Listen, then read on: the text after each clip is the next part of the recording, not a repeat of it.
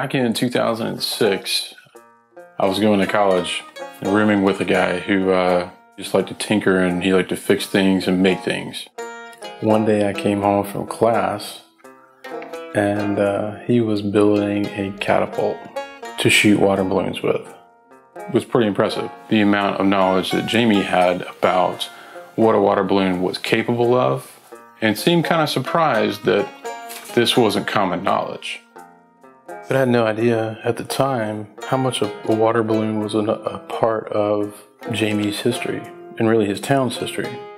A small town in rural Alabama, a mining town, a mill town, had a water balloon fight every year since the 40s. So when I would tell people growing up, we used to have these water balloon battles every Halloween. The imagery that comes to mind is probably nowhere near reality. Kind of hard to explain to somebody the magnitude of the situation if you don't know. The authorities are involved, parents are involved. There, there are grown ups that are kids that night. Pickup trucks, trailers hooked to back up pickup trucks. Cold, honey, let me tell you, yes, freezing cold. If you weren't part of it, you know, who were you? Every town's got weird stuff that they do. I've always known it was special that our little town did it. This town's always been known for, for being different, and they're always all in. Community spirit is definitely something this community does not lack. If nobody ever done that, they need to try it one time, yeah. I could say I participated till my kids were 15, 16 when they took it on themselves. They didn't need daddy no more. Downtown with everybody involved, that was a special night, you know, one time a year, and you couldn't duplicate it. My wife and I met in college, and I'll never forget her reaction the first time we talked about this. It was something like, Well, where did you get your water balloons that you threw on Halloween? She's like, What are you talking about? You didn't throw water balloons at each other Halloween night? And she's like, No, what are you talking about? And it was the first realization I had of like, wait, were we the only ones that did that? And as a kid growing up, you thought it was the greatest thing ever. But you tell somebody outside, they're like, oh, man, y'all, y'all did what? I thought towns always let you do water ballooning because I was raised doing that. You just assume it happens everywhere. I grew up believing every kid in America threw water balloons at each other on Halloween night. So my wife and I both do weeks of research, found no evidence that it happened anywhere else. If this is true, Cordova, Alabama is the only city in the world where Halloween night was set aside for citywide water balloon warfare. So I decided to do what I thought would be a short documentary film about this crazy tradition. So I contacted the local newspaper, hoping that somewhere there would be a photo or two of water ballooning in their archives. Unfortunately, no such photos exist. However, they decided to do a story on it. The night before the newspaper ran, the article posted to their Facebook page, and I was floored by the response. Hundreds of people shared it, hundreds of comments, friend requests, messages. The more I thought about the fact that we were the only place that I could find anyway that did this, the more curious I became about why Cordova? When did it start? Why did it end? Most importantly, could I get it started again? But first, it's important that you understand the people of Cordova and what it's like living there and growing up there. When you were growing up, what was it like there? Uh, Mayberry. Mayberry. Mayberry, but Mayberry. It was just, just like TV. Everybody knew everybody. We could have had our own Sheriff Taylor who didn't have to carry a gun. Could leave your, your keys in your car all night long. Leave the house open. No, no locks on the doors. It was the type of place where, as an eight-year-old kid, I could walk down the street, down the hill to the grocery store, uh, take a $20 bill, and they would sell an eight year old a carton of cigarettes at Son's Grocery. and I would take it back to my grandmother with change in my pocket, and then I would take that change to Motor Inn Barbecue and buy, you know, a sandwich and some mozzarella sticks. But they, you know, it was. they all knew us. I knew I loved it when I was young. Now most young people don't. Oh, I didn't. Yeah. But I knew I loved it. I didn't want to leave. Man, the best place to live for me it is. I got so many good friends. I think it was amazing growing up here. Yes, yes. Cordova can easily fit just about every Southern stereotype. We don't like to change. Uh, we don't like to go at a fast pace. Everything you think about the South there. There's also something that I've become very familiar with over the last four years serving in the capacity as mayor, how quickly we are to defend our own, even if they're wrong. It's, it's insane. And even if you're not like a Cordova boy anymore, you know, maybe you left, but we know you're one of us. You know, if you're a Blue Devil, you're a Blue Devil through and through forever and ever. Man, it's a family. You're a Blue Devil. You know, you're ain't nobody gonna mess with you in here. We got you back. We'd get in fights with each other and we'd have enemies, but let me tell you, if somebody came to town that wasn't from Cordova, your enemies became your friends and we all we all took care of business from intruders from the outside. I was arrested one time for some misdemeanor stuff. Tommy Hood was working and he had to be the one to come get me. Me and Tommy were close growing up.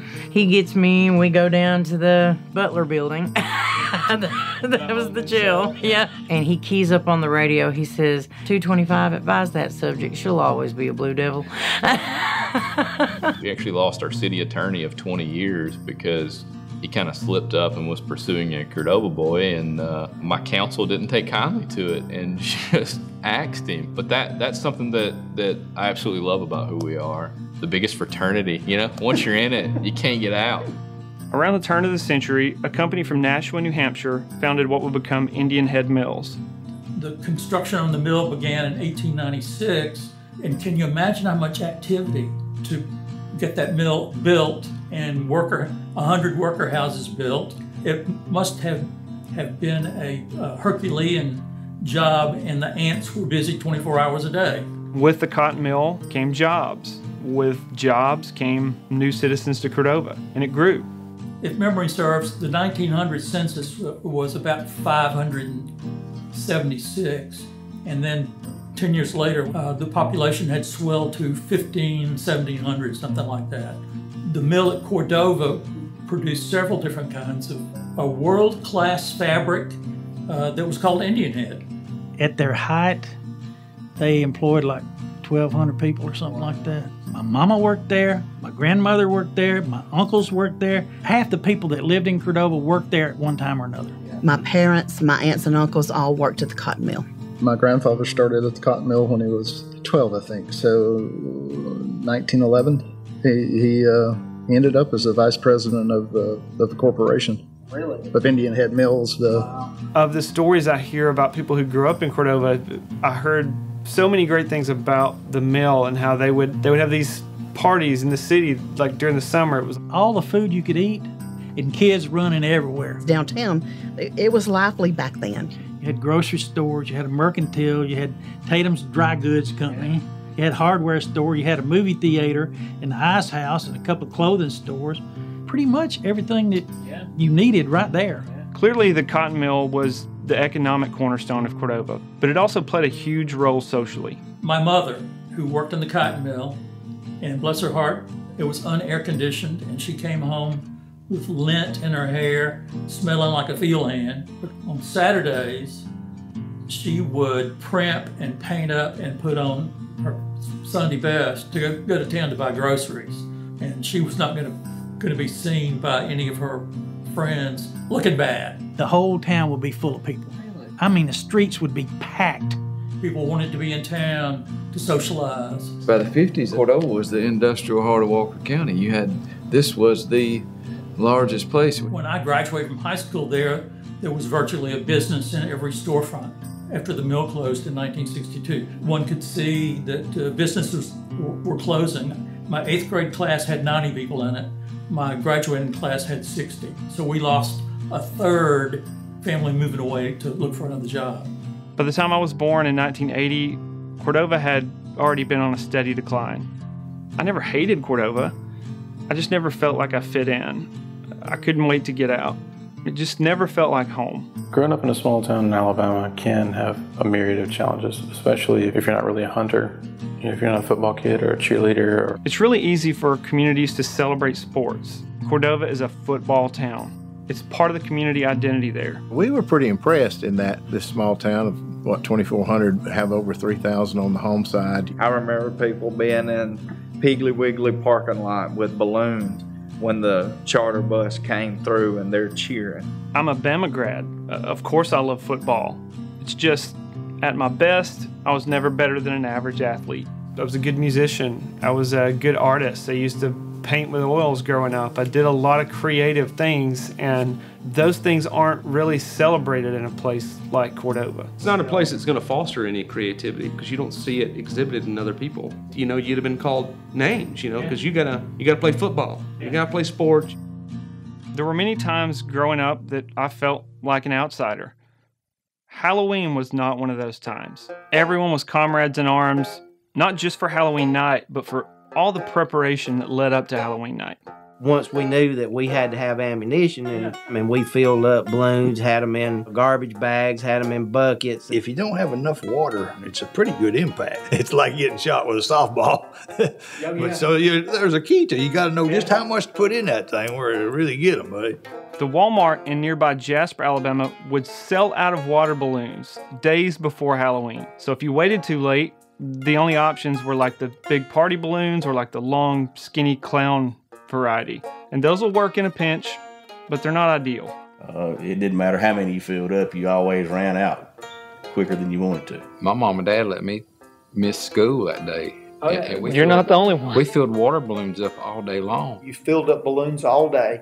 You got them in garbage bags. We'd fill these garbage cans up, you know, and then you're like, it's weighing 700 pounds, and you're like, how am I gonna get it in that truck? You know, you And I think I'm trying to grasp like the fact that there's a culture of this. Like people have like a what they go to battle in.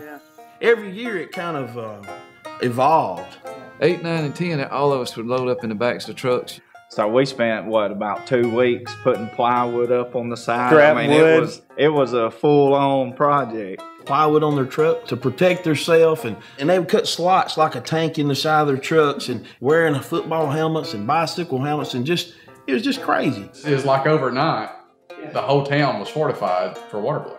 Small hometown bunkers or, or around street corners or cars or I mean, even the store owners would make sure that their water spigots outside were accessible so these kids could reload. And then the streets, you know, man, there there was almost solid balloons. It always looked like some type of rainbow rained all over town the next day because all the multicolored balloons. I would watch the, the city workers sweep up those balloons. Just a million pieces of green and orange and yellow and white rubber everywhere, you know. Just on the outside spigot, there would be just this, bow- and it would be there for a while. I mean, you'd come back, and it was just normal to see the the rim of a, of a balloon. All year long, those same spigots that you would see, there would still be pieces of balloon on that spigot. What's your first memory of it? I was really young. My brother had taken me. We had just a couple of sacks of water balloons.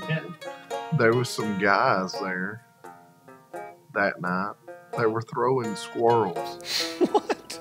Dead squirrels.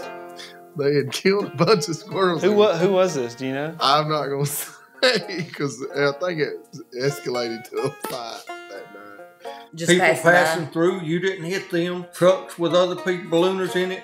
Oh, Lord. That's fair game. You had the group that was in the parking lot, and then you had the ones that was in the vehicle. Of course, we had red lights back then, so you had to time it to where you didn't have to stop the red light. But our driver uh, made a point of coming to stops. That was where I guess we met our Waterloo. Said, okay, Uncle Bobby, you're going to drive by real fast and we're going to bomb them and then get us out of there so we can recuperate. Well, Uncle Bobby, he pulls up to the worst spot that you can be and just stops. and I remember people jumping in, getting our water balloons out of our cooler, hitting us with our own water balloons. It's like, go, Uncle Bobby, go, go, go. So we would kind of distract them on one side while somebody else was stealing their garter can on the other side. You know, There's no telling how many balloons you, your arm would be sore from throwing Yeah. the next day, you know. And you know, the, actually, the people that made balloons should have gave us some kind of money or something. Because I know the stock went up when we bought all them balloons. A couple people would say they threw eggs. I never witnessed that. I never had any complaints at the police department. We got a windshield busted. It was my junior year, I guess. So it was 94, 93 or 94. I think uh, one store window got cracked one time, and we and the kids, you know, I'm not so sure we broke it. I don't think I think it was already broken. I don't remember anything uh, uh, bad happening. Of course, you know, we always had people end up with a black eye or or maybe a sprained ankle, or I, I can't remember not one single major injury. I remember some people falling out of the back of trucks, but they didn't get, you know, it was a bump or a bruise, but nothing major that I, you know, in my whole time of throwing water balloons. Squeak busted my eardrum. I said that for years, and he'd say, I didn't know it, that was not me. I literally walked around school going, Listen, put your hand up. I can blow air through my ear. For the most part, it was just see who could get who wet the fastest. Yeah. I only remember of two fights. My wife and I hadn't been married long, and I had always went to the, you know, down there and, and never got in a fight. Not once. And she said, You're going to get in a fight. I said, No, I'm not. Why would I go? I'm not going to get in a fight. I'm going to water balloons. People from the outside came in, and that was fine. You know, you could come in. It didn't matter if you was from Dora, Curry. You know, come in, have a good attitude. Let's have fun. But these people came in, you know, with that attitude, and they ended up getting it adjusted before they left. He jumps out of the truck and he's like in his 20s. And he's running his mouth at another kid that's about 14. And I said, Look, this is good, clean fun. Don't do that. We're not having that here. And Shannon was like the Incredible Hulk to me. I was like, there's Shannon. Well, the guy was drunk, and he told him, "Man, go on, leave me alone, leave me alone." And He draws back like he's going to do the karate chop, you know, ah, like that. And I said, Man, don't do that. And he called me a few names, and I said, Buddy, I don't, don't do that. Well, he took a swing at me, and, uh, and I just hit him. It was just a one punch. If you call that a fight. Well, it wasn't really a fight. It was one lick. But the thing about it was, she knew before I got back home. we didn't have cell phones then, so I'm trying to figure out. No, I'm trying to figure out how she found out so fast. the police were there, you know, so they were watching the kids pretty much. It wasn't like they were babysitting us, but they made sure nobody was crazy, nothing happened. You had the cops there. You had the firefighters there. Had everybody there, you know, and there's parents driving their kids around in the back of the truck. Even the adults were kids that night. Even the law. Yeah. was- I can remember seeing them in office, like full uniform, throwing balloons at kids and We was just hitting the cars, and then the police car come up, and everybody's just standing there. And then you just see one water balloon fly out of the back and hit the cop car, Poosh! and everybody's like, "Oh God!" And then he gets on the speaker and said, "My granny can throw harder than that." And And of course, that's the wrong thing to tell a group of teenagers. Here comes one lobbing out, boom, hits his car, and then there's a hundred hitting him. I had a blue Volkswagen and my doors wouldn't lock. So when you come across the railroad track, you turn right and go by Bo and Helen's. It's Jeff and Vaughn's now. And then you turn left and went back down the alley and you come to a stop sign. And that's where our big police station was that had a jail. And you had to stop there. Well, the chief and his police officer was standing there with a hose pipe. If you was in the back of the truck, they're wetting you down. And you had to stop at the stop sign. If your door didn't lock, they opened the door and wet you in the wet your car. Oh yes. So much fun. Do you know what kind of lawsuit that'd be today? After years, the fire department got involved. They would actually sit downtown and, and kind of help the police department out because the, their crowds would just get so big. E- occasionally, we would even we'd even turn on the uh, the luge gun or the or the water gun on top of the truck and soak the crowds too. Occasionally, I remember that. Usually, if the balloons didn't get them, the fire department was. Oh, That's what you run from all night long with the fire truck. Because they're already, you know, you're going to get wet. You know, I mean, but you just want to be at the end of the night and not at the beginning of the night. the fire truck was terrible. I didn't realize how bad that hurt. And we had rain jackets on, and they'd hit you with that thing, your rain jacket just fly open because it was so hard pressure, you know. And you're trying to fight it, and you you don't want to be the sissy and back out, but you're thinking, man, I wish they quit hitting me with that because they're killing me. There's always going to be somebody that would come through town knowing it's going on. They're going to drive through town and get mad when their car gets hit with a water balloon. They'd slam on the brakes and just squall the tires backing up, you know, and they scream obscenities, you know, and that was just the grandest thing. When you get out and you look and the whole town is doing it, and you're like, what do you do? You just get back in the car and keep driving, you know? So imagine the city where you live in a time when there were no cell phones. You're driving through town one night, and unexpectedly, someone throws something and hits your car with it. You drive to the police station to report it, and the first person that you talk to tells you this. I said, well, let me ask you something. He said, yes, ma'am. I said, you're from Cordova? And he said, yes, ma'am. I said, so you know this has been the thing for how many years?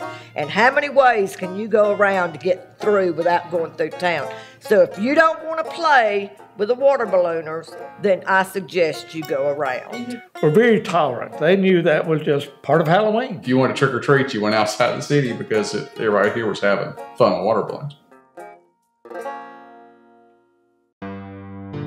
It seems like the community has been pretty interested in is, is starting it up again. What would it take to make that a success? I think that the city officials being okay with it. Obviously, you want to have first responders and police there in case something does go wrong, which historically it hasn't. It really highlighted what a, a positive community thing it was and how I didn't expect people to miss it like that. Things like that make me wonder what else is right under my nose that I never paid attention to, you know? Do you have any idea how it started? I couldn't tell you how it started. My father introduced it to us. I guess every group of kids kind of has a mind that, that maybe we started it. You kind of grew up knowing it was just something that happened. I don't know. I guess it was just normal to me growing up, but I, you Yeah, know, uh did it ever occur to you that, that it didn't happen anywhere else around here? no, I don't think so. Somebody said it's been going on since the 50s. 45 years that I can remember. The, I was five year old when I can remember them throwing water balloons in. Probably 65.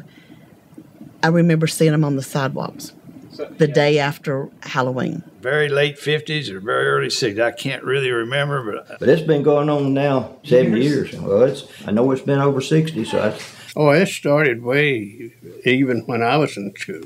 When I came to Cordova in, in 47, they were already having the balloon battles. So 47, it was going on then. What was it like then?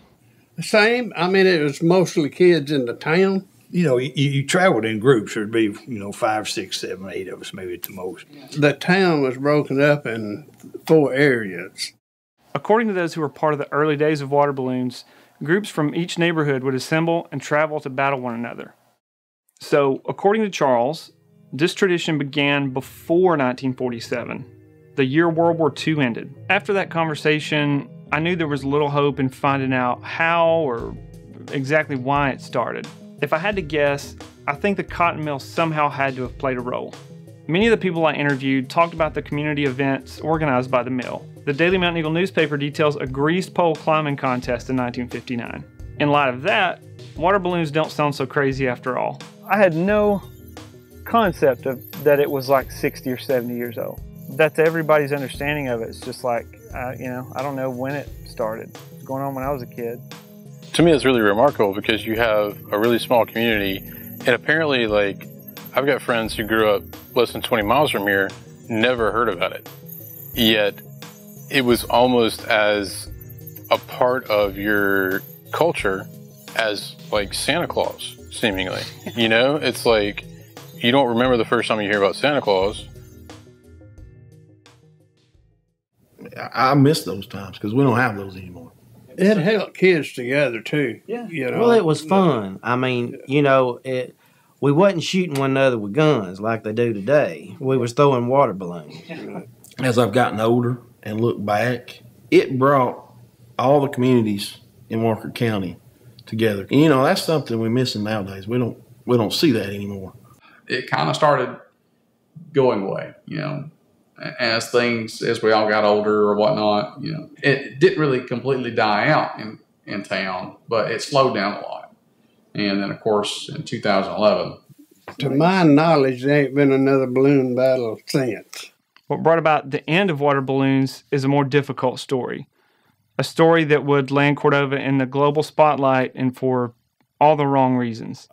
We've had a report of winds in excess of 100 miles per hour in Cordova. As a child, I remember being told, like an old Indian proverb was, Cordova would never be directly hit by a tornado. If one ever did hit Cordova, it would it would destroy it.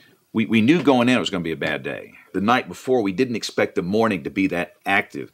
All the parameters were in place for violent weather. We didn't know the day before we'd have 62 tornadoes in one day. We didn't know the day before we had 252 people that would die. It sounded like somebody was standing outside the house shooting it with like buckshot. I mean, like it was just, you know, spraying the house. And Come on, Mike, it's here. So he comes in there to the closet And I'm already in there. Me and me and Lexi down like this. He came in and he tried to pull the closet to, and he couldn't. Three times. Three times he pulled it. And the minute I cut the TV on, he says, if you're in Cordova, you need to be in a safe place immediately. We're grabbing the kids to run downstairs, and all I remember is the metal of the metal roof just popping, the sound that it made. Before we even got downstairs, it was over, and I knew what it was. That's man, we was just in a tornado. Before that day, I was skeptical. You know, tornado warning for Walker County, and you'd look at the weather and you know, be like, eh, you know, it's not, it's not going to do nothing. And we didn't expect the morning round to be as bad as it was. That in itself was a tragedy. The morning event killed five people, left a quarter of a million people with no power. I mean, we had debris everywhere. We had to check houses, make sure people were all right. You know, just your standard safety stuff for us, just to make sure the community was okay and uh, get roadways opened back up our station was damaged that morning. So we had to set up a temporary downtown by the police station. The sun was shining. I mean, it was beautiful outside. My mom called and she said, Y'all need to go home. We need to make a plan. I, we had no idea there was another storm coming. I mean, all of us in the newsroom joking around, we're thinking it could never hit the same place twice, you know. Uh, toward four or five o'clock, that's when it was just like bullets from Hades. Getting close to five o'clock, when James Spann said, Anybody in Parrish, Alabama, take cover. Cordova, get ready. And by the time he said that, it was like the power went out. But this thing is sitting almost right over Parrish right now. And next is Cordova, where there's no power. The damage was extensive. Downtown Cordova was extremely heavily damaged this morning uh, in a pre dawn round of storms. And this is going to go right over that community. The statistical odds of a community that small being hit by two violent tornadoes in one day I, I can't imagine that. I'd say it's probably one in a million. Uh, we're about a mile from Cordova exit 72. We're, it's on the Cordova Gorgas Road. This this thing is actually coming at us. You can see the debris way up in the air. Was that a thought that it's going through downtown? No, it, it wasn't a doubt. All of a sudden, you just see clouds start moving in, and then they stopped. We watched the tornado come up by the water tower.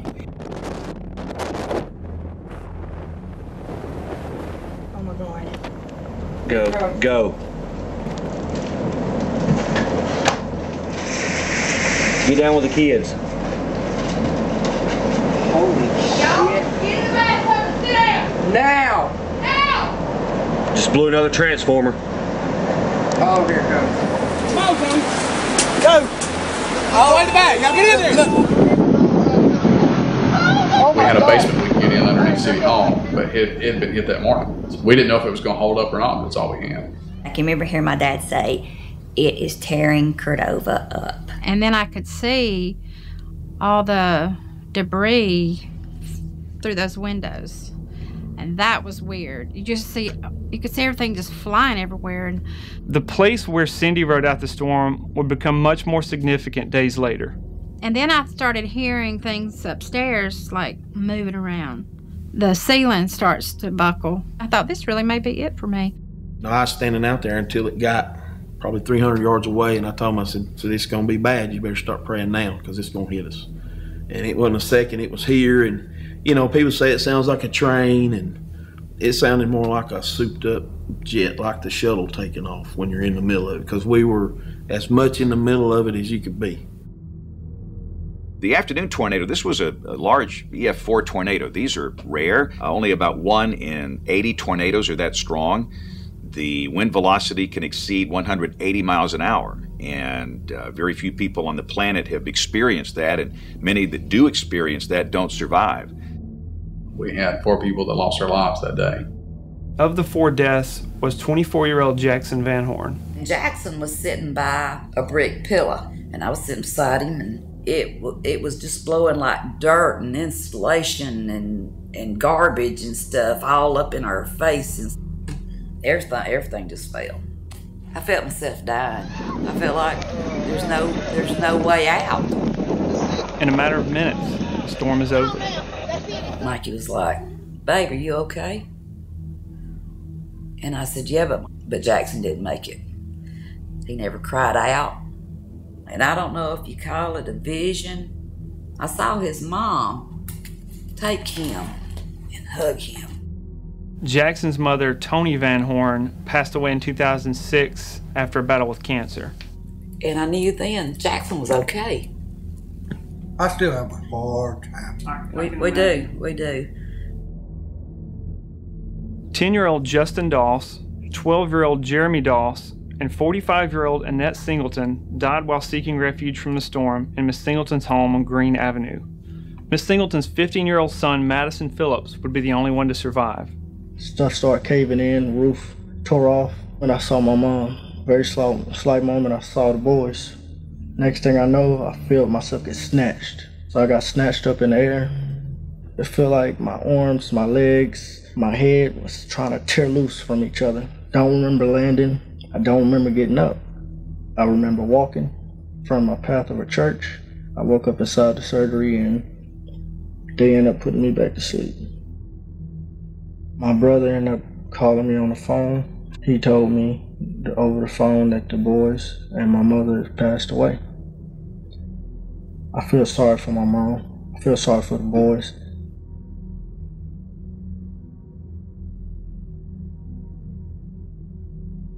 Joshua and Jonathan were definitely loved and, and accepted and made friends very quickly. Uh, losing them was really a difficult thing for the entire community.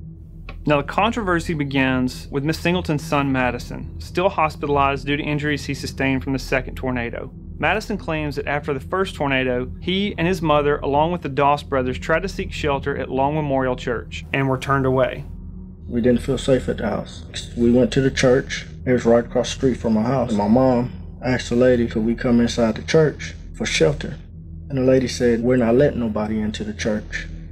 I said, Mom, nobody can go into the church, but look, they're letting people go into the church right now. And it's all white people. And my mom told me, she said, Don't worry, baby, it'll be all right. God got us. So we left, we went back to the house.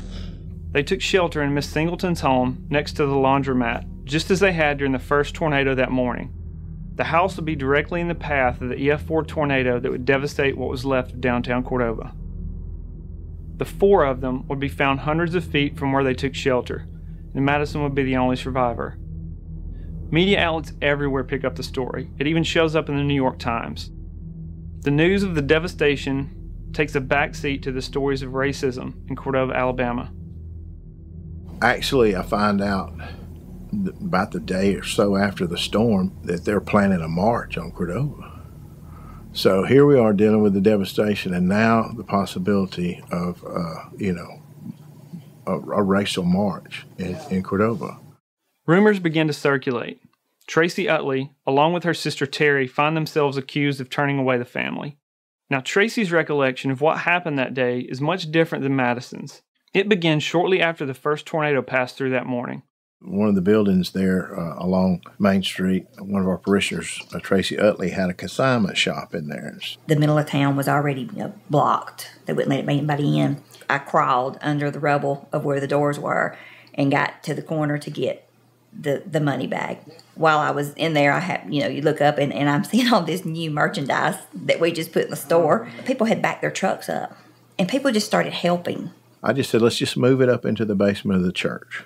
We got the store emptied. It probably took a couple hours. When just Ryan and I were standing out front, he asked me, "What are we going to do about leaving the church unlocked with all of your store stuff in here?" And you know, we told him if somebody feels the need to take something that's here, then then they need it. They were trying to get it sorted around, and and my wife Jamie and I went back to the house, and By the time we finished, it was probably three o'clock. I was standing there when the lady pulled up, and my sister told her, Anybody's welcome to come in this church. Technically, it's not a shelter, but the doors will be open. That's, that's exactly what was said. The doors will be open. Most Cordova residents doubt the validity of Madison's story. Well, that never happened. Those kind of rumors should, you know, should be quelled immediately, not put on the news and all that kind of stuff. But and I, I can't believe the people that that I was involved. I don't think that they would turn somebody away. I mean that, that's hard, and I'm not saying that's not possible. I want to say that that was just a rumor that got started, but I, I don't know anything about that situation. I know the lady that they were talking about. And I know that's the furthest thing from the truth. Some were critical of the Daily Mountain Eagle for not covering the story. There were a lot of racial type things that were coming out. We couldn't find any truth in those stories. We couldn't find substantial truth that would let us know, yes, that happened, so we would put it in the paper. You know, um, other media outlets ran with it that were not local. You know, they were just they were looking for a story and they were looking to sensationalize the story. Is what I think happened. For somebody who doesn't know about that process, like what's the rule of thumb? And we really would definitely have to have some type of credible source a police officer or a firefighter, a rescue worker, people who who had no political gain in anything that you know were just doing their jobs that would would tell us if something happened. Nothing came forward of anything other than you know the people who passed away in the storms, the destruction that was left behind, and the recovery efforts that took place after that. I mean that's that's the story. The only one that knows for sure was, was the poor lady that's gone. Now, in the interview with Madison, he mentions a couple of his teachers, Mr. and Miss Howell, and they actually sat with him in the hospital after he lost his mother. Even when they had to go to work and teach, they was there. They took turns. Then one would leave, one would come. And they didn't have to do it. So they have my highest respect. They always was there for me. When I interviewed the Howells, they told me about running into Madison and his mom the morning after the first storm had passed through. They were actually in front of the laundromat, walking down the, between the railroad tracks and the laundromat at that time, and uh, it was him and his mom and the two little boys. And I asked them if they had anywhere to go that evening, and they were going to go over to his sister's house over in Pratt City. I remember Madison and the mom even that morning telling me, you know, she said she'd come get us as long as we had the gas money, you know. So, and I asked them did they have money, and they said yes, you know. So, and they were very confident not wanting to come with us. You know what I'm saying? And it wasn't because of trust, because I think we'd already built that relationship. The mom. The Howells were close to Madison. In fact, they even offered to take him in after he lost his mother. So, if anyone knows Madison well, it's the Howells. And I was curious as to what they thought happened that day. Did they think this really happened? You know, which you never know, truly know somebody, but I just don't think the people who were talking about that were involved in that would that that would ever happen. You know, one I don't think he remembered much at all. It, he. I'm not sure that he was conscious when they first found him. I don't but, think he was. I don't know if I was passed out for a certain amount of time on the ground. I don't remember getting up. It, I was kind of beat up, really beat up from tornado. I forget how many stitches it was, but it was a you know gash all the way around, you know, and, and I don't think he remembered. You know, what I'm saying I don't Right, think he remembers what I- much of it because he doesn't remember me coming down and seeing them, you know. And he even told me too, you know, it's a coach. It could have been from that morning actually when That's it what was I them, remember. them two in the bathtub, and then my mom and then me. He couldn't tell you for sure if that's what he remembered or if he was just thinking back to that morning. Many of those who argue that this didn't happen that day call into question Madison's memory of the event. I think I think it may have been a misunderstanding because I was kind of aggravated at first too. You know, when I heard the story at first, because it was it was frustrating. I mean, she can probably tell you how mad I was that, that I thought that somebody had turned away somebody just especially because of who they were, what they would look like, and But we had a relationship with him and, yeah, and his was family, really and so it made it was really emotional, you know. But I worked with Miss King, Donna King, who was one of the special ed teachers at Bankhead, and she was very involved with that church and always has been. It really tears her down that, that people would think that about somebody in their church, you know. And when people would say things and say, Well, your church, and I would say, But you know what? My church is made up of people. That's right. And I'm part of that. I go through the pews and think about the people that sat on those pews, and I cannot think of one of them that would do that. from what she says, and she said this is, you know, just talking with people in the church, was that that it was a misunderstanding. That they just told them that that was not a place to be safe during a tornado. You know, Everyone agrees that Miss Singleton was told this is not a shelter. Ryan Rosser, the pastor there, explained that this is an issue of liability. Shelters must meet structural requirements, and since the building was a century old, it definitely didn't meet those standards. And it certainly wasn't a racial thing Why do you say that? because the congregation is interracial. from what I hear now, I think Miss King told me there was actually some black people in the basement of the church. Cindy Lang was in town earlier that morning after the first storm came through. She was actually in the basement of the church during the second storm. Don't know what percentage was black and what was white, but it it definitely was a mix of people. And there was no, nothing going on that would indicate anybody wasn't welcome. I mean, we were going out there saying, "Y'all need to get in here." Now, as you can imagine, this situation is still a sensitive issue in Cordova. Now, there have been several other people who confirmed that more than one person of color was in the basement of the church that day, but Cindy was the only person willing to talk to me on camera. In fact, in June of 2011, a publication of the United Methodist Church had this to say. One AT&T worker who asked not to be identified credits the open church with saving his life. We were working in the streets when a man came and told us that we needed to take shelter in the church. They were gathering up every living person they could find and taking them to the church. I know for a fact that there were some black people in the church because they were working with us. As far as the church turning somebody away, I don't believe it for a minute. The first time that I came to church here, we were just invited to come to church here and came, probably late 80s. And there was a young man here, a young black man. His name was Andre. And I was just real impressed that even, you know, during that time that there was a, a black man that, that worshiped here and he was friends with the people here. And my experience with worship and with church had always been that it was very segregated. And so that was really intriguing to me that during that time, it just, I thought, this is a place that is welcoming that loves people and that these people are are friends with each other and they care about each other. So if those stories are true, what happened that day? Did this church really turn them away? They said I lied on newspapers and they tried to cover up the whole simple fact that it happened. After the first version of this segment was finished, I sent it to the Howells. They actually sent a response statement and asked if I would include it. Our main concern is for Madison to know that we never doubted him. We never felt like Madison would have intentionally created or falsely reported how those events unfolded. We truly believe that it was a misunderstanding and that no one side had intentions of misleading others to depict the other side falsely. We feel it's also important to understand the magnitude of Madison's trauma and head injury. He was being asked to recount the events of that day while he had not even recovered or even truly understood what all had happened to him. I never have thought that this young man went out and made up a story and told a lie and, and then it got to be bigger and bigger and bigger. I never ever thought that. I thought that maybe she had come to the the front door and there was nobody there or maybe she came to the front and it was locked or or something. I just felt like that that there was just a misunderstanding somehow. Maybe because she was black and she figured that they won't let me in. Right. You know, some people think like that. Oh, I can't go to that church because it's white church. Where you go to church? Where you go? I go to, well, they don't want nobody over there. I said, I can go all the time. See, they didn't grow up with that. You can't go here because you're black. They won't want, they don't want you there. They don't want to let you in. And I tell them, I go here all the time. But What do you think? Do you think that happened that way that day? Well, segregation is still here in Cordova now. Everybody's not on the same level. There's some people still have that in them. Not only white, blacks got it too. What do you think it takes to get past that stuff? Some of us you will never get past.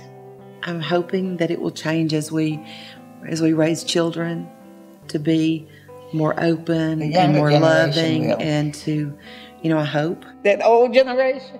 No. The young generation? Yes. The young was like us. The, the young was like us.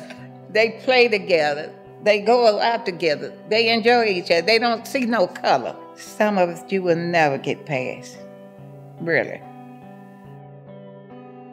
From a storytelling perspective, my hope was to tell the truth of what happened that day. Unfortunately, our most credible witness suffered severe head trauma.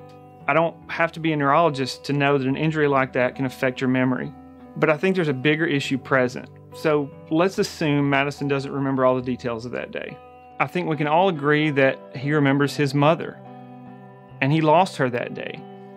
And he lost her that day, at least in part, because she didn't feel welcome at Long Memorial. And I don't think it had anything to do with the people at Long Memorial.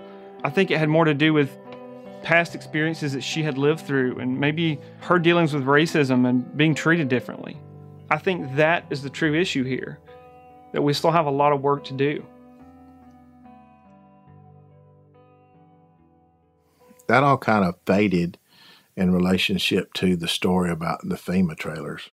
With these issues of race still present, all these headlines start showing up about how Cordova's mayor, Jack Scott, won't allow FEMA to bring in trailers for homeless people.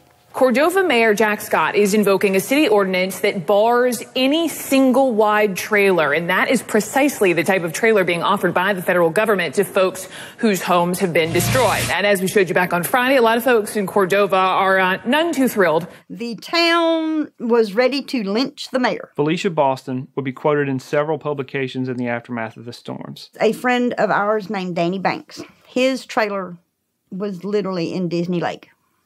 The man was lucky to be alive. It's like he fell through the cracks. That's how it felt because this poor man is living in a tent. He had no other options. My dad's brother was in England when this happened, and he found out about all of it because he saw his brother on TV in England. Footage from town hall meetings where townspeople are screaming at, at the mayor and he gets upset and kind of yells some things back. So it just turns into this huge circus.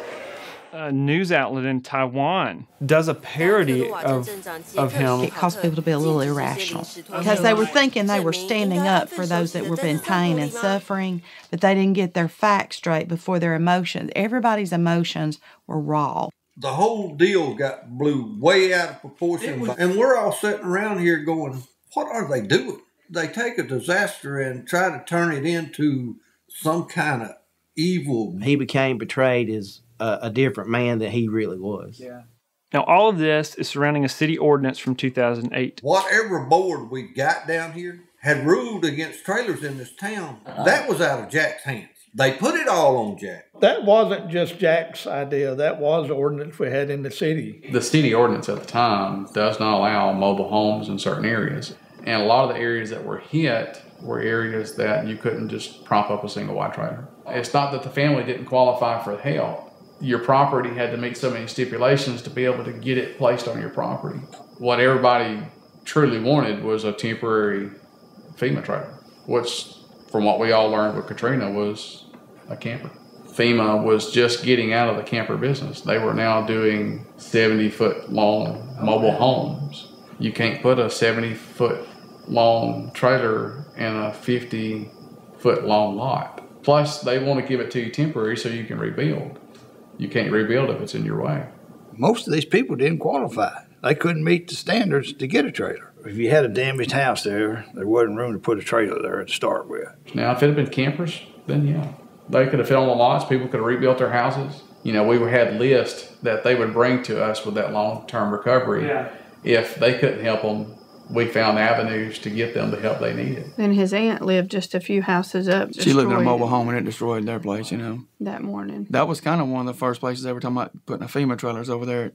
The guy who lived next to her, and I think he's the one that really started raising a big fuss. Because I'm telling you, you know, my aunt did own that home she lived in, and they gave her, they paid her a lot of money for that home. It pretty much helped put a big down payment on their new home. And these people that may not have gotten that temporary, they still got FEMA funding.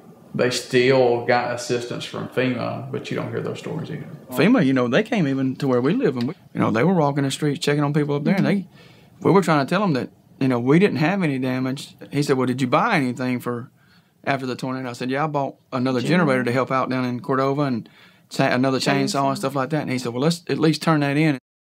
A lot of people also thought that, you know, I got that free home and it's mine. But after 12 months, they come back to collect those. And a lot of people didn't think that because of the years people stayed in them in, in Louisiana. Yeah. But it's because they couldn't get people to move to move out. If you let a lot of those FEMA trailers get in, they're so hard to ever get out. Looking back at it, it's a good thing. Some people would not have moved out of those trailers. Now, the rationale behind this ordinance was that a mobile home community next door would discourage would be builders from relocating to Cordova. Now, there's a lot of research out there about how mobile homes affect the value of the properties adjacent to them, and there doesn't seem to be a clear cut answer, especially since property values are so subjective. It's not that those people are, that we're better than those people. We were trying to keep the property value and, and look to the future where somebody might want to come and build something here in Cordova. We didn't want to become a trailer city, and our ordinance, you know, was drawn up where we outlined different locations where a trailer could go, but it had to be a certain trailer, you know. The people that were against us are not bad people. The people that criticize us are bad. You know, everybody's got a right to believe what they want to. We did what we thought was best for Cordova. And, you know, and everybody's got their own opinion. That's the last national news story about Cordova. But they'll never know the true good that he did while he was in office. Our current mayor gets the attaboy for a lot of the improvements that's made in town, but a lot of those things was set in motion by the administration before them. The grocery store. Mayor Scott had driven that ship.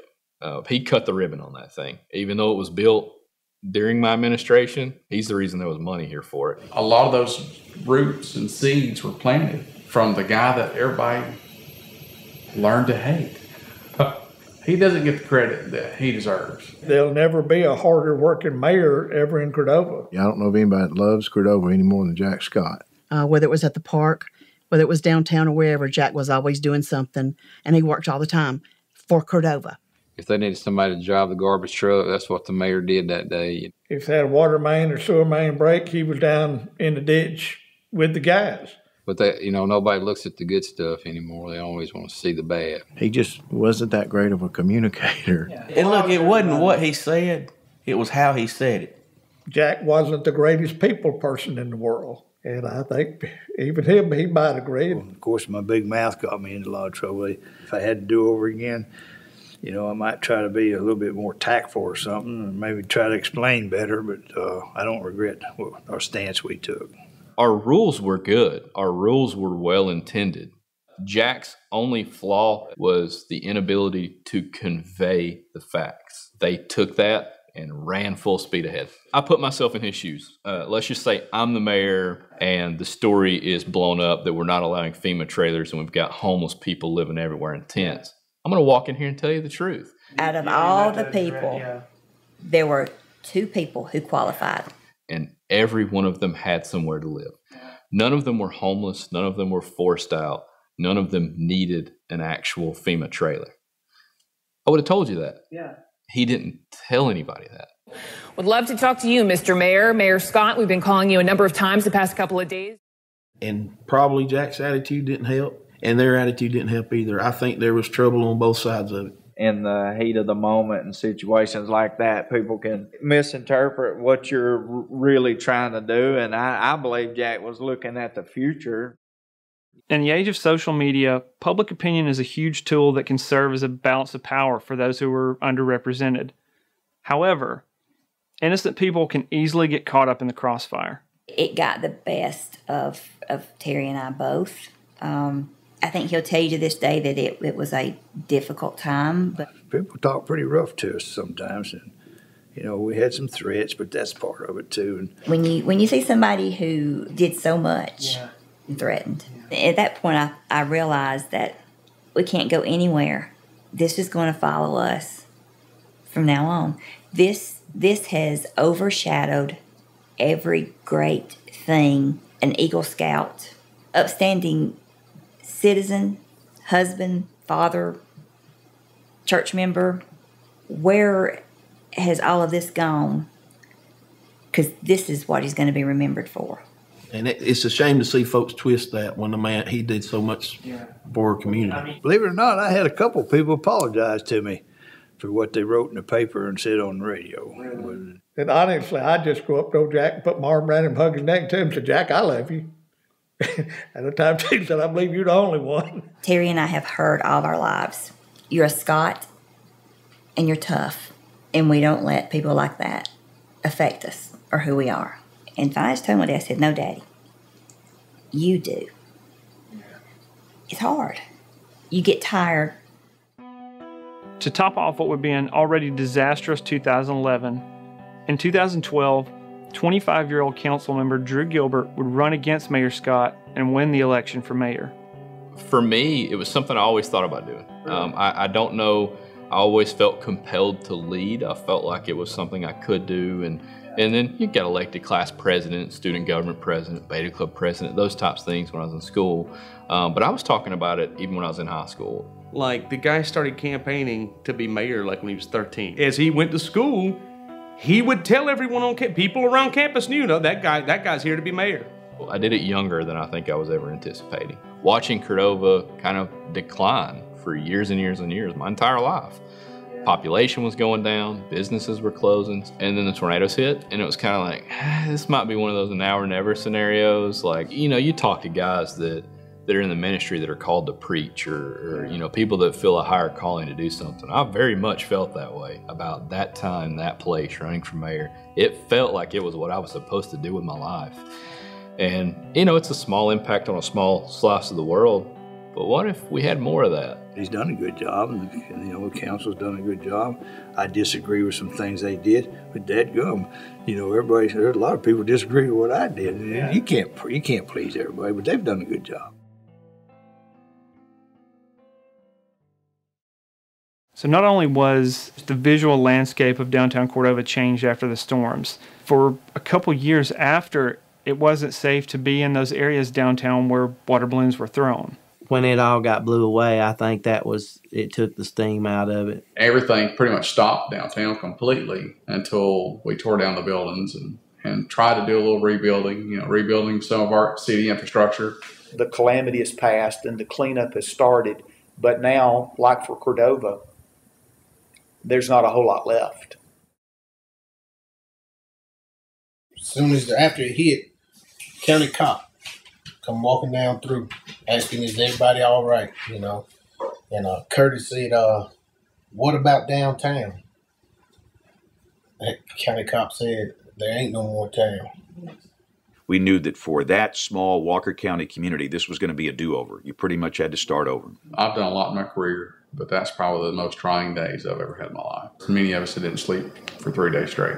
I didn't go home for well over a week, and I practically lived down here for three months straight, just going home, getting a shower, and coming back. Our grandparents, they're like, you know, make sure you have water, make sure you have money tucked under your mattress. Like, you really need those things during a situation like that. And it, it made me realize, man, we are not prepared if this, if stuff like this happens last word was I had 19 fatalities in my district, a loss of 1,200 residences. People struggling, you know, to get even water. So we didn't have power for days. If I remember right, it was probably about seven days. There was no groceries. We had to go all the way to Winfield, 30, 45 minutes to Winfield. Money was the issue too, to get money out of your banks. Every road was blocked. We wasn't even able to get back into town that night. The National Guard surrounding the city with M16s.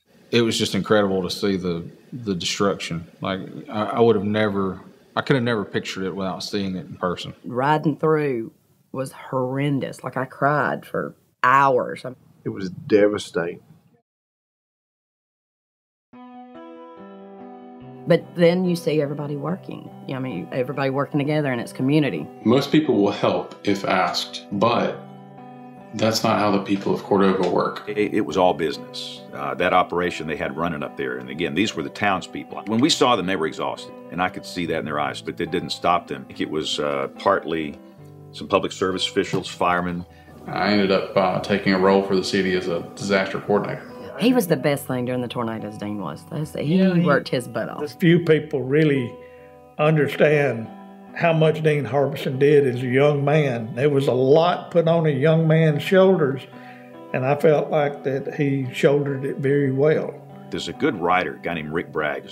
One of the things he wrote about was how uh, a guy with a chainsaw is worth a hundred with a clipboard, and how Alabamians understand that, and they they rushed right in, and all of a sudden we weren't Democrats or Republicans, we weren't liberals or conservatives. We weren't black. We weren't white. We, we didn't live in the city. We didn't live in the country. We were just one for that brief time. Went to my dad's house, got chainsaws, and went straight to town. I told my boss, I probably won't be back tonight. There's a lot of people that needs help. You didn't really know where to start. We just started cutting on roads. I think a lot of people that were maybe self centered, and I fight that, I think we all do to some degree, they become centered on helping other people in need. And that's why we're here.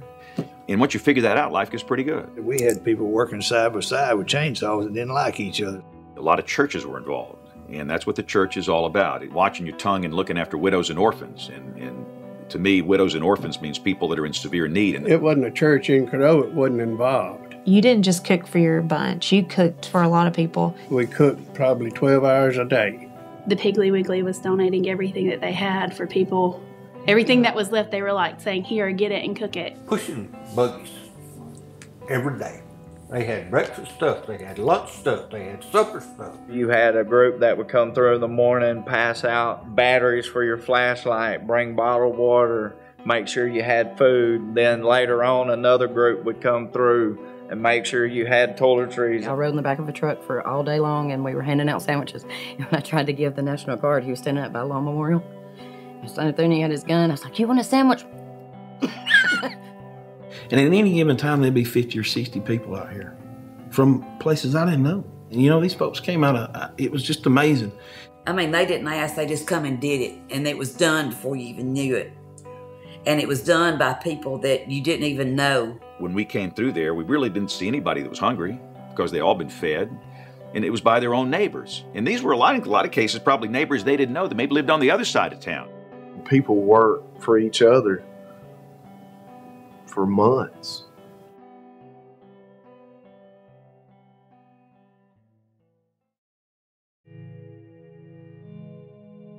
We decided to talk to the city officials to try to get permission. So everyone's finally on the same page for water balloons to happen again this year. Which is one of the things I hope for with the film is to do it again this, this Halloween. Being with the fire department, what are your thoughts on that as far as like a regulation perspective? Well, if we could try to get something like that started again, we'd definitely try to be involved for the safety aspect, if nothing else, to help block off streets or whatnot. You know, as long as the city would be for it, Yeah. we, we would support it. If we're not there, then you know things tend to get a little out of hand or whatnot. And if somebody ever gets hurt, we're there to help them. Yeah. We actually started the trunk or treat with that in mind. Uh, let's let's bring people back downtown and, and try to have something fun like that. Now, of course, we're not letting them fling anything at each other yet, but uh, Yet. that yeah.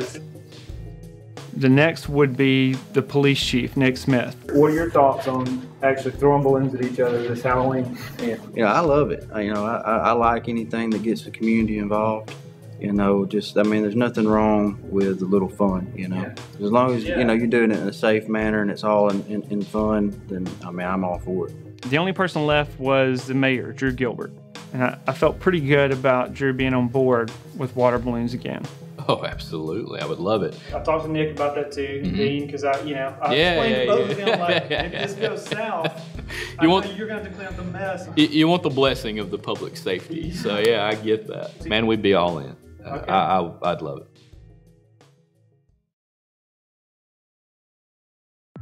Since 2011, Cordova has been rebuilding. A lot of people moved out after the tornadoes because they lost their homes. Have you ever considered leaving? No, Why is that? I don't know. It's just something special being a part of this school and being a part of this this community. Do away with it, move away. There was no, there was never a question of that. It was you know we can't leave these people, and and we got to help these people. That's what community is. It's not just a place to live. It's maybe like New Orleans and Katrina. Maybe a lot of those people just didn't have that connection and it was just better for them just to leave because it was just a place. It was just there, you know, a place to live. You don't have the tight knit community, you know, as you do here. The community roots are so deep. It's, you know, most of the people that, even people that lost their house in the tornado had, no, it wasn't even a thought of leaving. The grass is greener on the other side. I don't think that's the mentality here. I live beside my parents. I still live right beside where I grew up, and I've never, ever thought about going anywhere else. It's family to me. I mean, everybody's family in Cordova, so. I was born and raised here. I had a chance that I could have left, and I didn't, you know, because it, it's all it, it's home, and it'll always be home. And A lot of people describe community as this place. And to me, community is the people around us, not the soil we stand on. And there's a big part of that mentality that people have in Cordova that I don't really understand. It always just seems to be something instinctive that you can't explain. Did you ever consider moving back? No. No. No, I was I was part of that coterie that wanted to get out of Dodge, and I and I knew there was a larger life out there, and I and I wanted uh, to see what it was all about. And some people are not curious. I mean, we wouldn't have had anything to do to support a family. So unfortunately, I mean, even ja- you know Jasper wasn't a consideration when we I went to college. Like I missed it. I missed the closeness. I think maybe in college I came back for some games, but even then I felt a little out of place. But it's it's because I don't have the the history that so many other families do. Yeah. Like my parents aren't at the game, and my grandparents aren't at the game, and I don't have a cousin on the field, and If you look at the research, when people leave a small town and get an education, they rarely come back. I remember multiple conversations when people found out I was moving an hour away to Tuscaloosa to go to college. They were really concerned that I would lose my accent and or my faith. I grew up a preacher's kid, so that was instilled in me at a very, very young age, and I think that has huge implications for how we see community. Christianity plays a huge part in the community values of the small town, and especially in small towns in the South. I hear a lot of disparaging comments about the ignorant religious right from all these damned small communities. I began to ask these people where they're from. Everyone's answer was from some small town somewhere, right?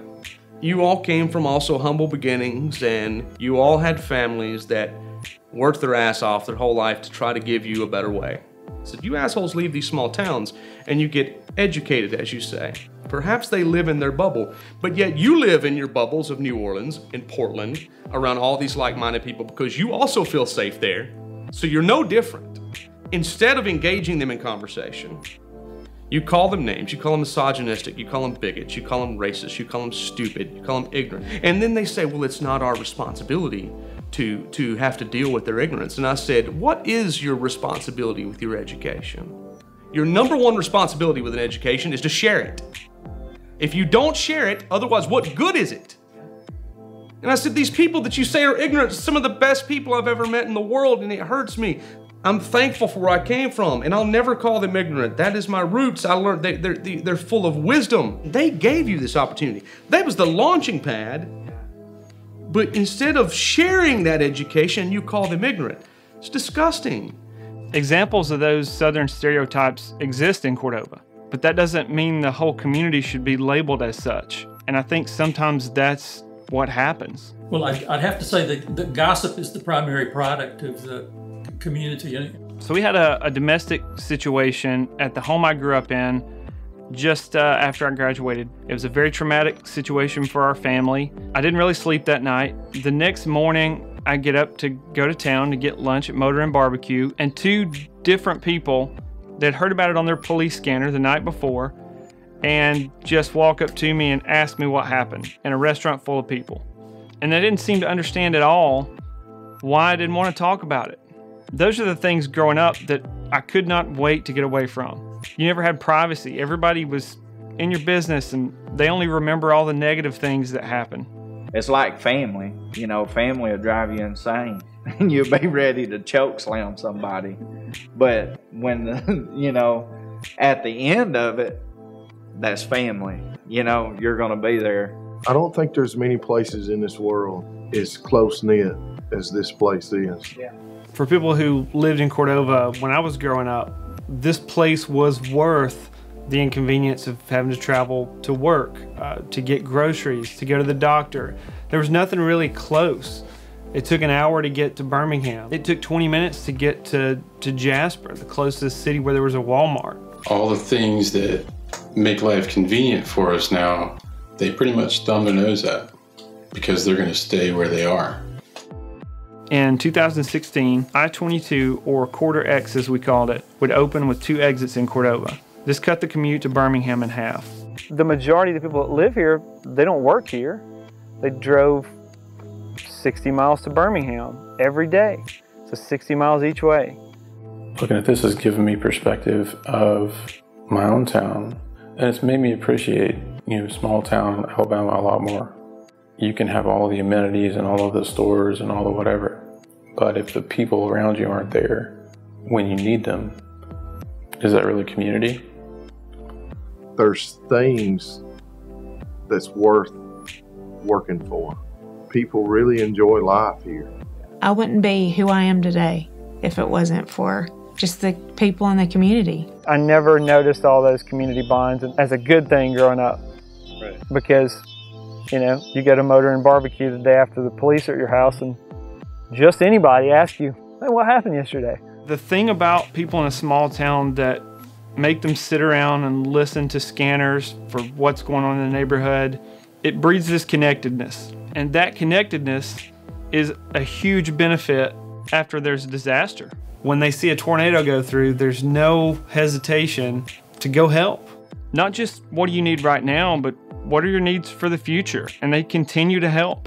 Somebody set up an account for Jackson down here at First National for burial expense. And when the statement come in, you know, it'd be like $10 or $50 or $300 or there was one on there for $2. And I looked at it and I squalled like a baby because I knew it was either a child or an older person that didn't have the money to help. That still tears me up to, to think about that. Were you able to pay everything with, with the account? And was it one of those? Wow. We, we did. You have a community that takes care of itself. You don't have to know the person that you're taking care of. And and it's amazing. That feeling is the same, as silly as it seems, for water ballooning as it is the storm. Yeah. Because because it's it's about uniting the community. Or something as silly as that or or or as insignificant as that can unite you and a storm can. water ballooning was officially a go. So I got with Chief Smith and we mapped out an area, created a Facebook page, showed the safe areas to throw. So it is October 11th. I'm working on the invite for Facebook to invite people to the water ballooning event. I just drove in uh, early this morning back to Nashville from Cordova, went to city council meeting, got all that, all the details kind of ironed out um, to just kind of make things official. So I'm nervous about the event for two reasons. One, I'm nervous that no one will show up, and two, I'm nervous that way too many people will show up, and it'll be more than the uh, the police and the fire department there can handle. So here's hoping that everything goes well and people behave themselves so that we can keep doing this in the future.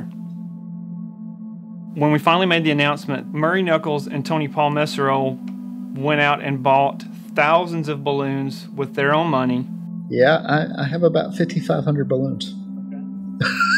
They spent days of their own time filling up these balloons to give away to kids on Halloween night. Since 2010 was the last year that water ballooning had happened in Cordova, so we've got a generation that didn't really know what to expect. And if you show up with 50 water balloons, you're done in a matter of minutes and the night's over. There might be some kids down there that don't have any balloons to throw, and they're making sure everybody has a good time. And I love that. In addition to the thousands that Tony Paul and Murray bought, Maple City Rubber out of Ohio donated balloons just for any kids that, that couldn't afford it so that everyone could, could enjoy it. Also, not really knowing how many people would show up or how many trucks would be there, I asked my nephew Brett if he'd be willing to pull a trailer through town so that the kids could ride on the back of. And he was happy to oblige. So we spent uh, an afternoon putting sheet metal and building the frame up on this trailer. And he brought a water tank, rigged up an electric sprayer so that they had a way to fight back against the fire department. It's easy for me to take credit for the success of that night because I'm there shooting video, but but the truth is, without all these people who gave of themselves and of their time, none of this would have happened. There's gonna be an article running tomorrow. Okay. This is gonna announce that we're doing it again this year. Doing what again? Water ballooning on Halloween. Are we really? Yeah. I didn't know that. Yeah, you should have told me a long time ago so I could get my balloons ready. I'm so excited about this. I mean, I was like a kid all over again. Called their mama and I said, Patty, I said, the kids are going with me on Halloween night. When I was telling uh, Paul about it, I said, How's that? How long is that going to last? And I said, ah, you know, a few hours. Now, Tanya, come on. He's like, there's going to be 500 balloons thrown and everybody's going to go in 10 minutes. I said, oh, Paul, Stephanie has 500 water I'm gonna start now. I didn't know. I did not know this that we were gonna get to do this. I'm gonna start now, like tomorrow. So when I'm trying to explain to Jason and Angela, I'm like, wear some warm clothes and your tennis shoes because you're probably going to get wet. You're probably going to get hit, you know, so don't be a pudding. I promise. You're going to have a time You're like, I want you to, to experience at this age something that I didn't get to. Mama didn't want me to get her. I want my kids to experience the Cordova that we experienced because what they don't get that. Hey, me and my older buddies, we, we started texting each other. You know, and Josh, I texted him, I said, man, you ain't gonna believe what's gonna happen. He said, you gotta be kidding me. He said, why did you not let me know enough time to prepare to come up here? And I said, Josh, you gonna come throw some? Nah, my arm's gone. In fact, I've learned not to even ride through town because I know what's going to happen. Come throw balloons. I'll be a witness. I don't know. I'll if my- help them fill up the balloon. I don't know if my throwing arm is good as it was back in those days. I'm so excited for Halloween, Amy. Okay, all right. So, what time is it? 354 It's 3:54. Halloween morning. Do you know where your kids are? Hopefully, Um, filling water balloons because that's what they need to be doing. So uh, we got batteries charged for the most part, memory cards dumped, and uh, gonna try to sleep for a few hours before the festivities of the day start for us tomorrow. So So, what what do you say to Cordova at pushing four in the morning? Please show up tomorrow. I'm way too tired to be having a conversation on camera. So I'm gonna go lay down. Roll tide. Roll time.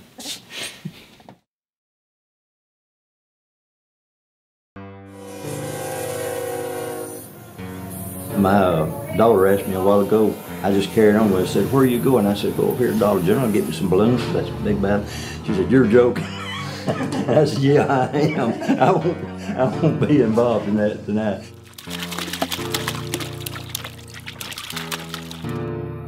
Yes. I ordered this off eBay two days ago. It's uh, the, the custom uh, cashmere water protection.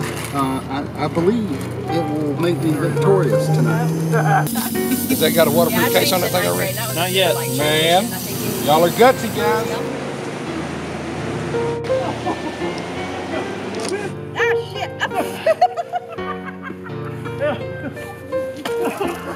Ah!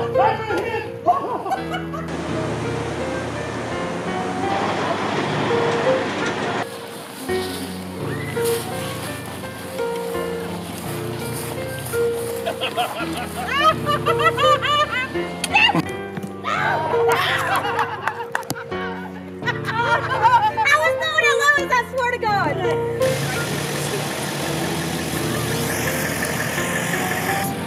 Walking from Piggly Wiggly toward the madness. If you're in Cordova, just roll your windows up. Is everybody seeing the T Rex? Come on, T Rex, let's take a run.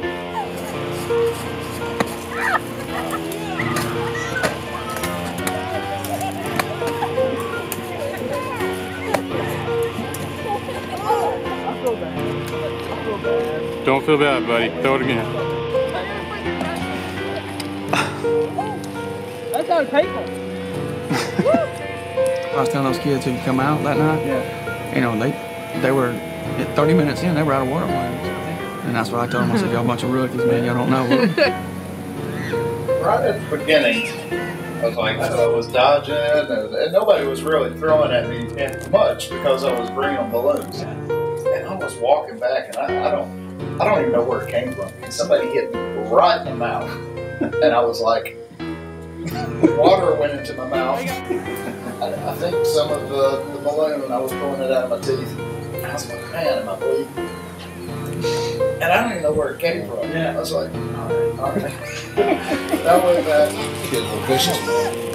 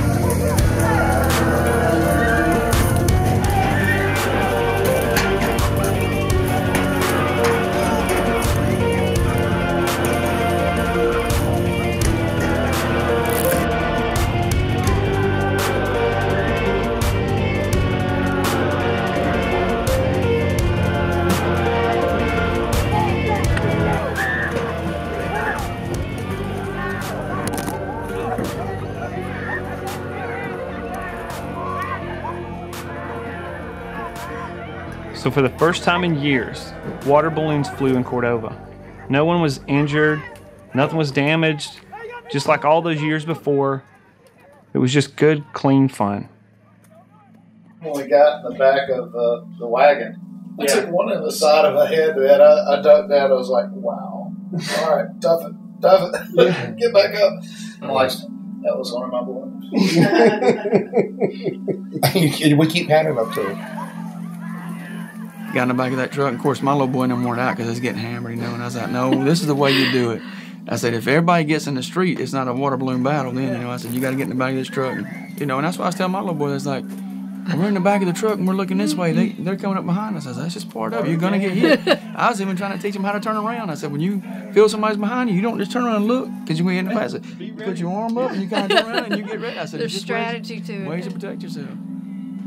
It'll get bigger next year because people just didn't know. You know what I'm saying? They didn't know how much fun it was. Everybody was eager to. Well, I think the problem was everybody was scared to go and clear it with the, the police. You know what I'm saying? But I think you when you got that going and cleared that with them, then everybody opened up. And the police did a good job down here this time. Man, it was excellent. Wasn't it? Yeah. You know, people hitting their vehicle and they still wasn't fussing. And, But the best kudos for wetting everybody goes to the fire department. Oh my gosh, man. They were, Oh, we're, we're not gonna. they were horrible, man. They were Man, horrible. It was like getting waterboarded, man. It was horrible.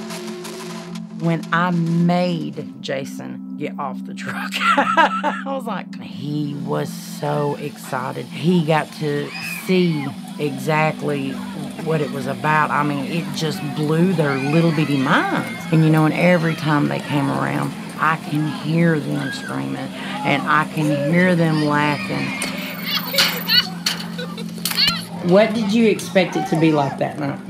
I expected it to be like just a couple of people. Not that many people, not the whole town, just a couple of people, not as many trucks and stuff, just in like a regular field throwing balloons. And did you have fun? Yes, it was awesome. My ribs hurt today from laughing so. Just you know, just watching the kids. I had a ball last night. I, I, I just out doing something. I haven't had that much fun, and I can't even remember. I just from the time we got out there.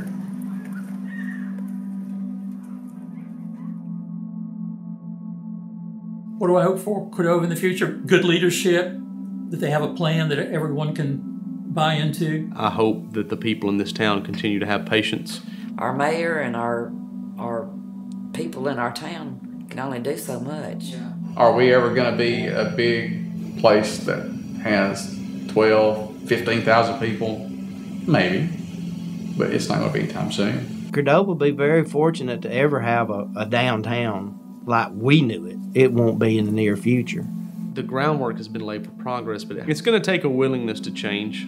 I don't want it to change too much. Here, everybody knows you, and everybody knows if something's wrong, they're going to come and say, hey, you need some help, or It's kind of understood that it's never going to be the same as it was.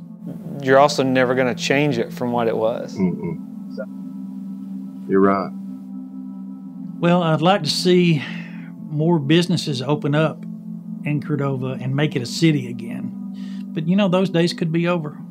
the long term impact of what those tornadoes meant to Cordova, it didn't set in with me for years. We were just in the mode of, hey, here's the position we're in. Let's recover, right? Let's get let's get the rest of the buildings torn down. Let's get our grocery store back. Well, let's get whatever grant funding we can, and let's start getting buildings back online. And then we got exactly to where we needed to be. We got, you know, the economic cornerstone with the grocery store done. We got the city hall, the police station, the fire station. We got all that back. And then you're just kind of like, all right, now what? What has this really done to us?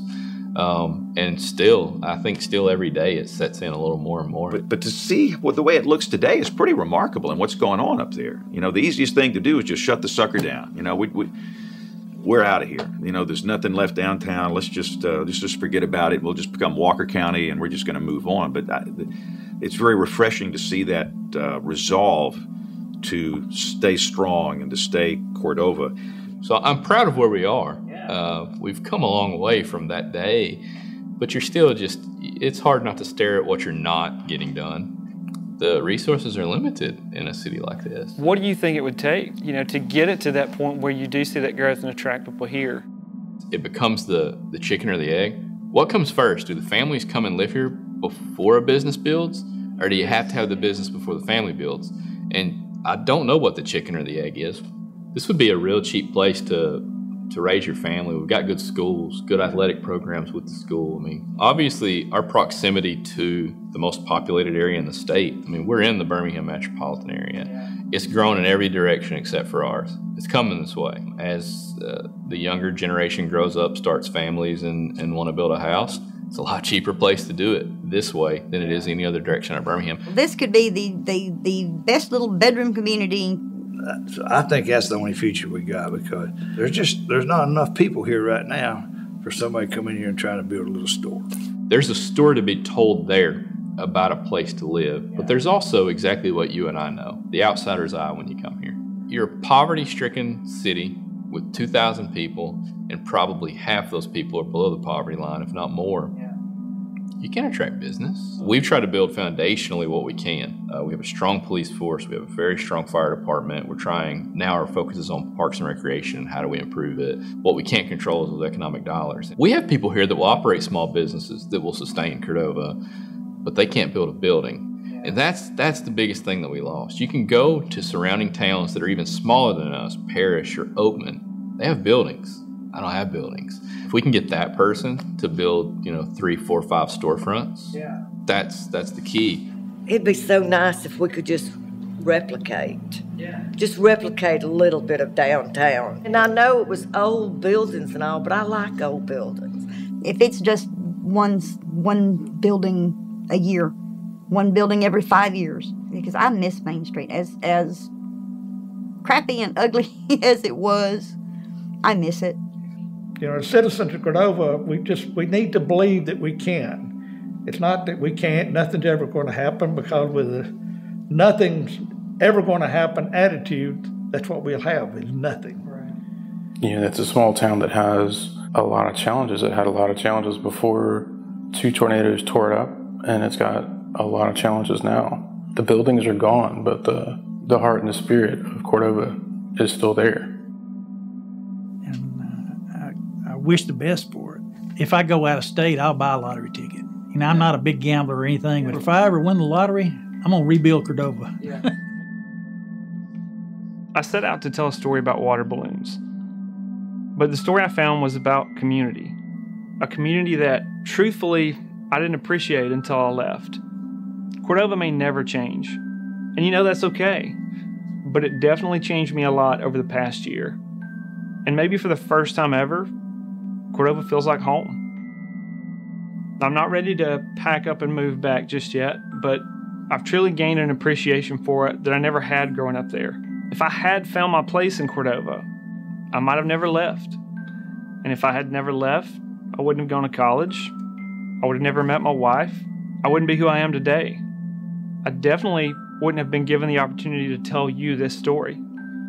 If feeling like an outsider was necessary for me to be who I am today, then I'm thankful for that. I wouldn't change a thing. I still believe community is who, not where. And if that's true, Cordova's right here with me in Nashville.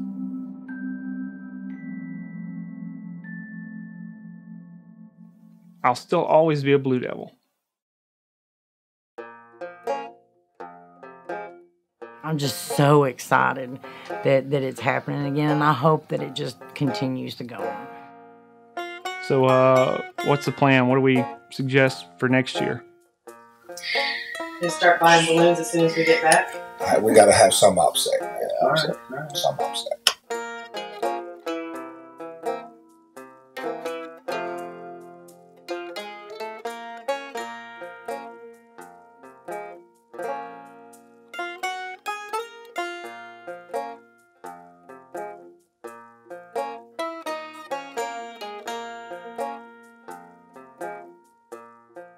Can I say on record? Man, yeah.